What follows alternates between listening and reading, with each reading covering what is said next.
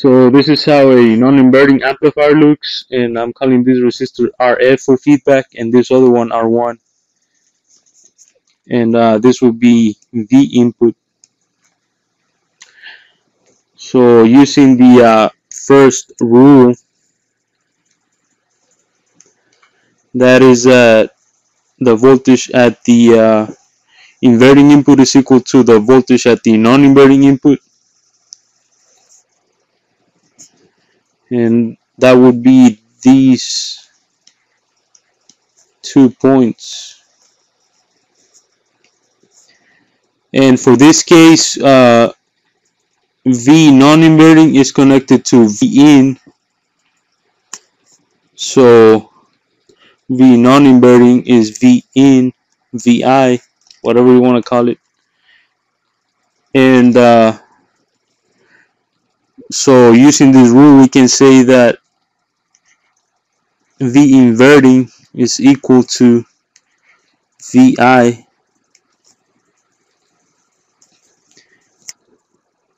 and it's pretty easy from here because uh, we can we can think of this uh, part of the circuit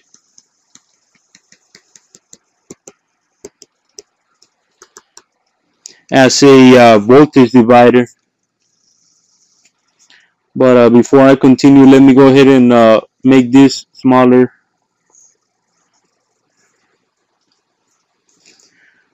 So uh, like I said we have a uh, voltage divider for this part of the circuit. And uh, it's gonna look like this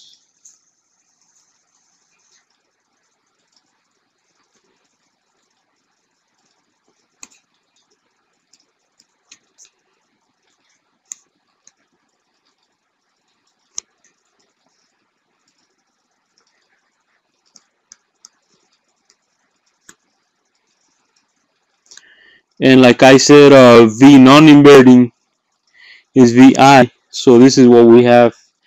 And uh, we can use the uh, voltage divider formula because we can call this our V source.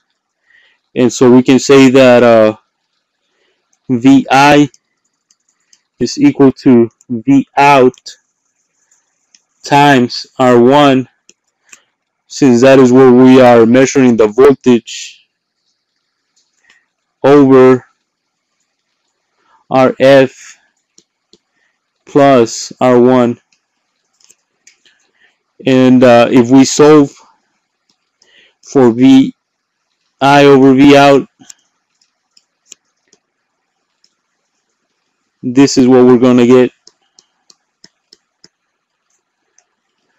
But uh, you got to remember that we're looking for the gain and the gain is the output over the input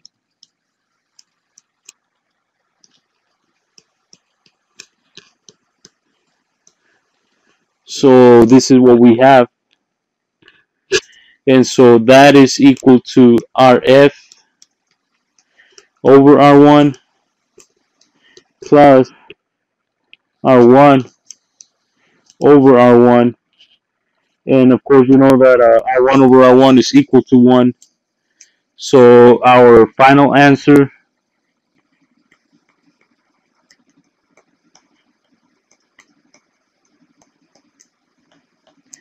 is 1 plus RF over R1